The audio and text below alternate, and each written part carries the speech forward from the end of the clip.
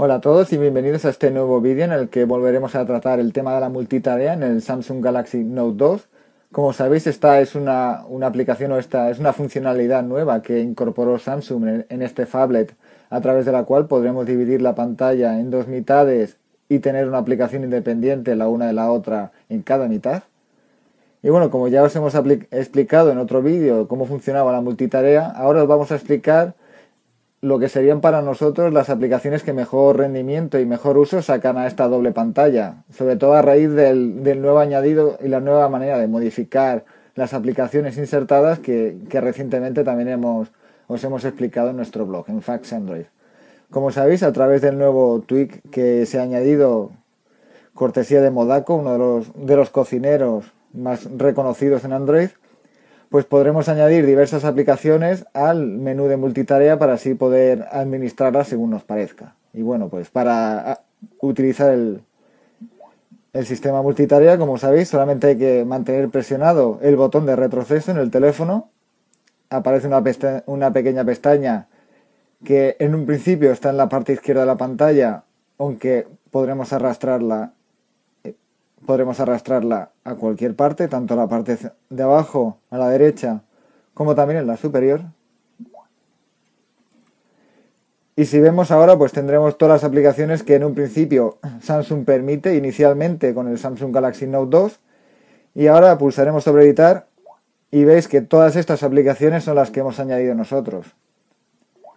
Como por ejemplo Bad Piggies, la secuela de Angry Birds, el navegador Dolphin, Drive, Dropbox, Flipboard, Foursquare, Instagram, el navegador de Internet, que viene por defecto también de Samsung.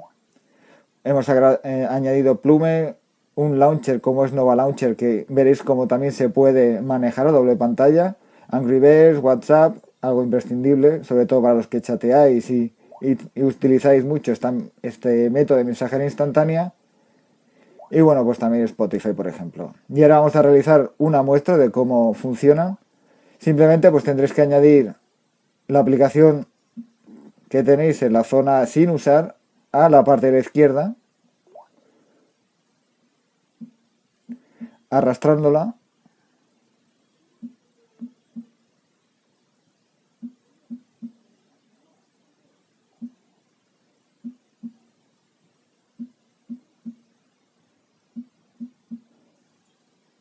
pulsamos sobre hecho y ya las tendríamos todas en la parte izquierda.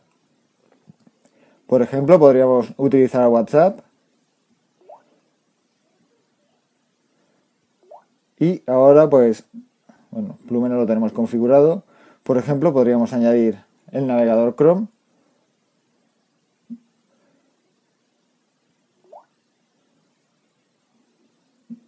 Como veis tenemos las dos aplicaciones funcionando al mismo momento.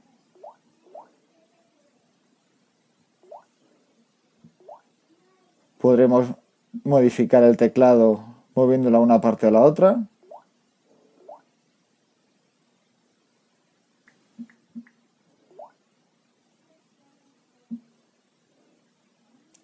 Y bueno, el navegador de internet es algo que ya podíamos usar. Podremos, por ejemplo, también utilizar Spotify. Flipboard en la parte superior. Por ejemplo, pues Flipboard se aprovecha se aprovecha mucho en teniéndola en doble pantalla porque podremos estar navegando con nuestros feeds y nuestras y nuestros RSS mientras por ejemplo en la parte inferior pues escuchamos música con Spotify por ejemplo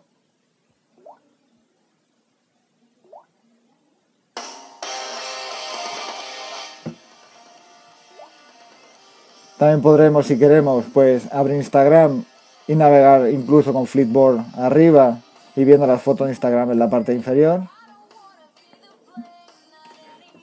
Es posible tanto ponerlo en vertical como en horizontal. En este caso no se podría porque Flipboard no permite el modo horizontal.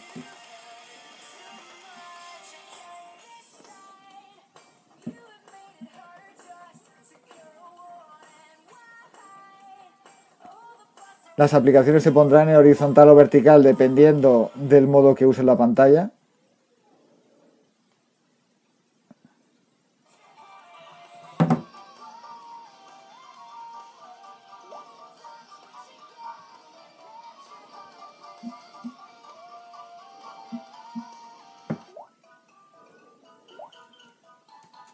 Vemos que en la parte superior pues tenemos Angry Birds funcionando.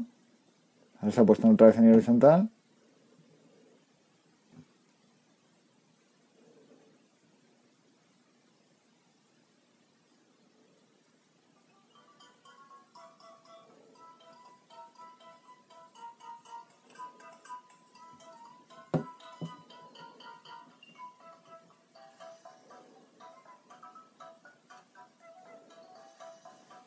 Aparte, por ejemplo, los juegos, algo que también podremos hacer, que lo hemos estado probando, es ejecutar un launcher por encima del propio TouchWiz, como es Nova Launcher. A ver si lo podemos añadir.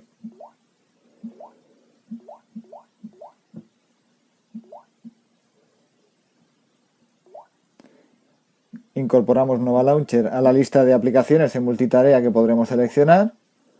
Y, por ejemplo, vamos a arrancar, a probar otra vez, arrancar Angry Birds.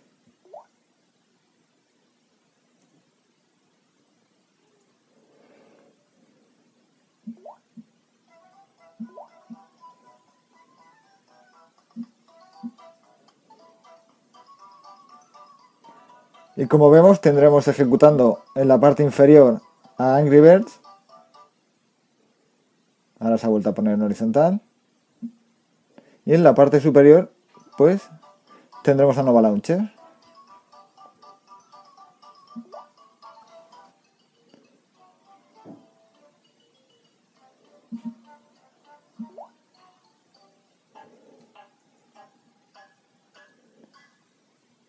Como podéis ver, arriba se está ejecutando el launcher que es Nova Launcher en este caso. Tendremos acceso al menú de aplicaciones y no sabemos si podremos arrancarlas o no. Vamos a probarlo justamente ahora. No, evidentemente al arrancar una aplicación directamente desde el Nova Launcher en, en multitarea se arranca pantalla completa. Como veis, dependiendo de, qué aplicaciones hayamos utilizado para, editar el modo, pues evidentemente pues no estará todo lo bien configuradas y adaptadas que tendrían que estar para, para funcionar correctamente.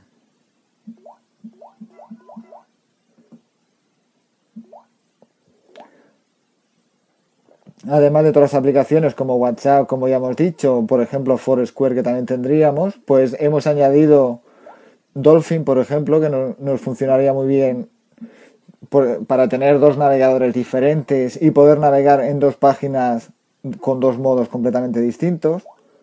También tendríamos Root Explorer, por ejemplo, para tener el navegador Root Explorer arriba, bueno, el navegador administrador de archivos y podríamos, por ejemplo, tener Dropbox abajo para ir moviendo archivos de un lado a otro, sabiendo en todo momento cuáles tenemos en cada sitio.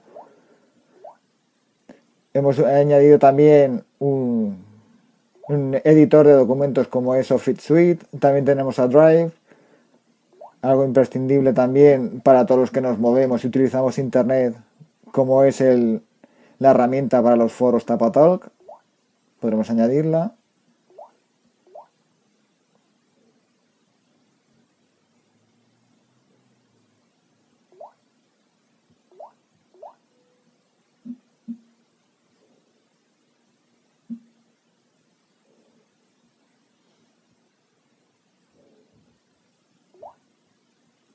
Como veis, la verdad es que las opciones son prácticamente ilimitadas.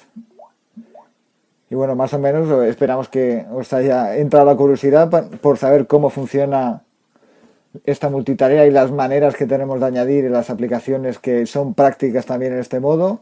Y bueno, pues en el post que tendremos en Fax Android os hemos creado el zip para que directamente lo flasheéis a través del recovery en vuestro Samsung Galaxy Note 2 con las aplicaciones que hemos seleccionado y también os, pondremos un enlace al post donde se habla de cómo editar vosotros mismos todas estas aplicaciones. Y bueno, pues esperemos que os haya gustado y hasta luego.